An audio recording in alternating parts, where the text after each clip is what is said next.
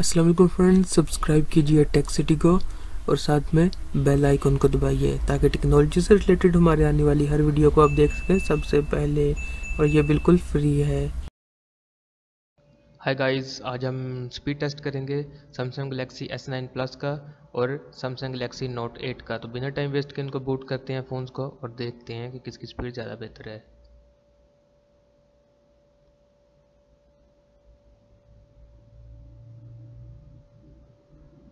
दोस्तों, यहाँ पे नोट 8 जो है, वो थोड़ा स्लो है और जो सैमसंग गलेक्सी S9 प्लस है, वो फास्ट बूट कर रहा है।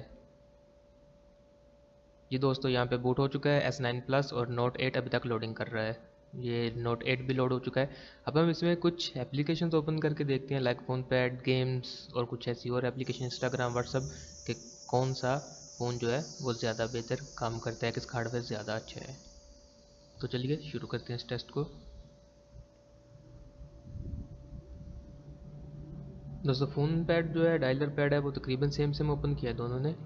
और सेटिंग भी तकरीबन सेम सेम ओपन है दोनों की। सेटिंग में भी कोई इतना ख़ास फ़र्क नहीं है। दोनों ने सेम ही लोडिंग की है। तो अब हम इसको सेटिंग को क्लोज़ करके इसकी नई गेम ओपन करके देखते हैं।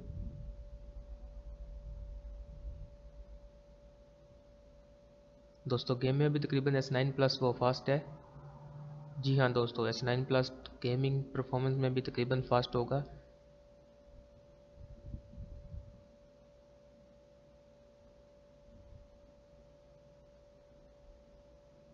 इंस्टाग्राम तकरीबन दोनों ने सेम ओपन किया है दोस्तों, दोनों का सेम इंस्टाग्राम सेम लोडिंग कोई इतना ख़ास फ़र्क नहीं है दोनों में।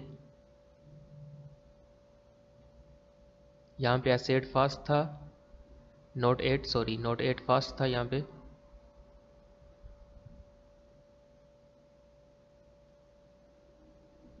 दोस्तों यहाँ पे भी जो सैमसंग गलेक्सी एस नाइन है वो फास्ट है नोट एट अभी तक लोडिंग कर रहा है, लेकिन सैमसंग गलेक्सी में गेम स्टार्ट हो चुकी है। दोस्तों, अभी तक जो टेस्ट चल रहा है, उसके लिहाज से S9 की स्पीड ज़्यादा बेहतर है नोट 8 से। साउंड क्लाउड जो है दोस्तों, वो नोट 8 ने जल्दी ओपन किया है।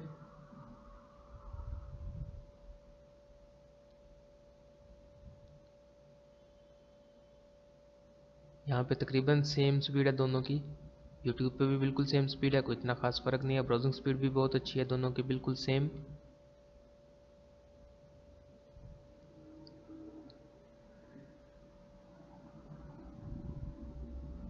दोस्तों स्पीड में कोई इतना खास फ़र्क नहीं है दोनों का। तकरीबन बिल्कुल सेम सेम एप्लीकेशन ओपन कर रहे हैं। सेम हर चीज़ हो रही है सेम गेमिंग सेम ऑप्शन हर चीज़। तो आप कह सकते हैं कि Note eight S nine plus का मुकाबला कर सकती है। जैसे कि आप बिल्कुल देख रहे हैं, बिल्कुल सेम स्पीड सेम डिस्प्ले कोई इतना ख़ास फ़र्क नहीं है।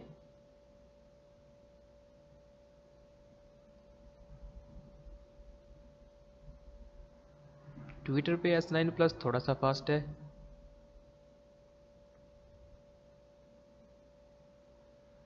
कैमरा पे तकरीबन सेम है दोनों, इतना खास फ़र्क नहीं है।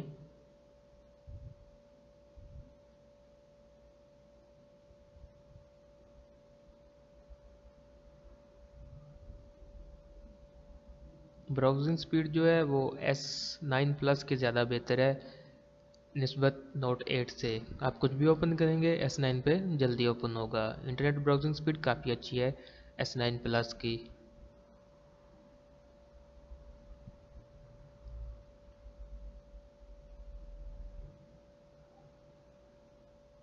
ठीक है दोस्तों, जैसे मैंने आपको पहले बताया कि नोट एस नाइन पे एस नाइन प्लस पे आप कुछ भी ओपन करेंगे तो वो नोट एट से पहले ओपन होगा ब्राउजिंग स्पीड में।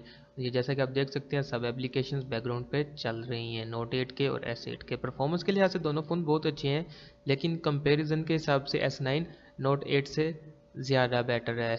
इतना ज़्यादा भी नहीं, लेकिन ये है कि प्राइस के हिसाब से वो ज़्यादा बेटर है।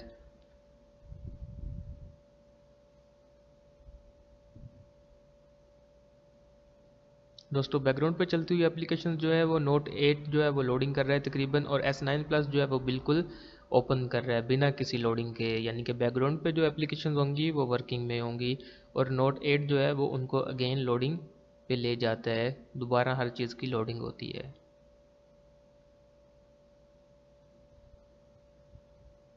तो दोस्तों, इस टेस्ट से यह पता चलता है कि नोट 8 से S9 प्लस ज़्यादा बेहतर है और अगर आप और भी ऐसी बहुत सारी वीडियोस देखना चाहते हैं फ़ोन से रिलेटेड अनबॉक्सिंग फ़ोन्स की speed test water test scratch test और इस तरह के आप बहुत सारे अगर टेस्ट देखना चाहते हैं तो प्लीज़ चैनल को सब्सक्राइब कीजिए और वीडियो को लाइक कीजिए और बताइएगा कमेंट बॉक्स में कि आपको वीडियो कैसा लगा।